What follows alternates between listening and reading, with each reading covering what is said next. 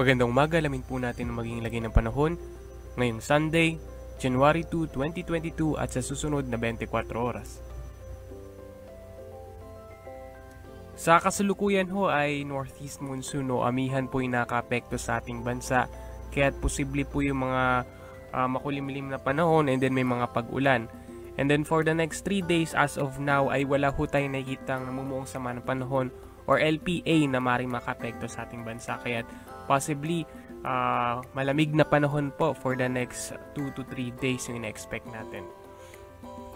Within 24 hours, makaranas po ng cloudy, uh, makulimlim na panahon dyan po sa north at eastern section ng Luzon. Uh, dyan po sa may Cagayan Valley, Aurora, down po yan sa may Bicol region. May mga may hinang mga pagulan po na ine-expect pero generally sa buong Luzon dito po sa Metro Manila at yung malaking bahagi ng ating uh, ng Luzon area makakaranas po ng magandang panahon, malamig na panahon, and then may mga isolated light rains lamang po, mga pulo-pulo, mga mahinang, mahihinang mga pagulan. Agwat ng temperatura na mararanasan dyan sa may Lawag area, 21 to 31 uh, degrees Celsius. Sa Tugigaraw naman, 20 to 27 degrees Celsius. Baguio, 11 to 21. Dito po sa atin sa Metro Manila, 21 to 29 degrees Celsius. Tagaytay, 20 to 27. Legazpi, 24 to 29. Diyan naman sa may Calayan Islands, 25 to 31 degrees Celsius as well as diyan sa may Puerto Princesa. So mababang agwat ng temperatura pa rin po yung na-expect natin. Malamig na panahon dito sa Luzon area.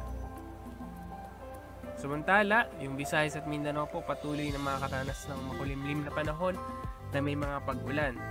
So expect po na, natin na until tomorrow possibly uh, may mga pag-ulan pa rin po silang mararanasan. Sa Iloilo, 22 to 28 degrees Celsius maging agwat ng temperatura. Tacloban at Cebu, 23 to 27 degrees Celsius. Zamboanga, 24 to 32. Cagayan de Oro, 24 to 28 degrees Celsius. At yan po sa may Davao, around 24 to 31 degrees Celsius. Para naman po sa kondisyon nating baybaying dagat, uh, same as yesterday kung saan po nakataas yung gale warning natin, pinagbabawal po yung paglaot ng ating mga kababayan sa mga areas dyan sa seaboard ng Northern Luzon, down sa eastern seaboard ng ating bansa, yung buong Visayas as well as dyan po sa may Palawan area. Pinagbabawal po yung paglaot ng ating mga kababayang mga isda dahil sa magiging maalon hanggang sa napakaalon yung sea condition so napakapanganib po niyan. And then for the next 3 days dito po sa atin sa Metro Manila, expect fair weather condition, isolated light rains lamang kung ulan man, panandaliang may hinang mga pag-ulan lamang po. 21 to 31 degrees Celsius magiging agwat ng temperatura. Sa Baguio naman, 12 to 23 degrees Celsius na nanatili pong mababa yung ating minimum temperature na in-expect dyan. And then sa Legazpi City, posibleng until tomorrow ay makaranas pa rin po sila ng mga pagulan. Pero pagdating po ng Tuesday and Wednesday, uh, possibly uh, improving weather na po dyan. 24 to 31 degrees Celsius naman yung maging agwat ng temperatura. Same as Cebu po, expect po natin na until tomorrow, may mga pag-ulan na mararanasan. 23 to 32 degrees Celsius naman yung maging agwat ng temperatura.